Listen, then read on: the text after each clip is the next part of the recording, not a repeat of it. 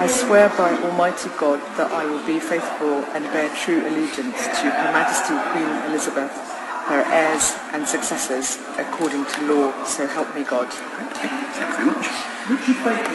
Kind of. Thank you. Thank you very much.